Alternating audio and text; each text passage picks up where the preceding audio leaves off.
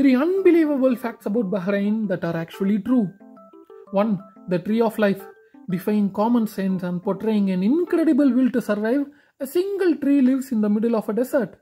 It has survived for more than 400 years without a visible water source in a country that gets just 7 centimeters of rainfall a year. 2. The half bridge. In 1986, a 25 kilometer long bridge was constructed to connect the small island country Bahrain to the mainland of Saudi Arabia. However, at that time, Saudi Arabia had banned women from driving. So, till 2018, when Saudi Arabia finally lifted the ban, this bridge was the only bridge in the entire world where women could drive only on one half of the bridge. 3. Shocked. Despite being the third smallest country in Asia, Bahrain has the third highest per capita consumption of electricity in the entire world. So now you know the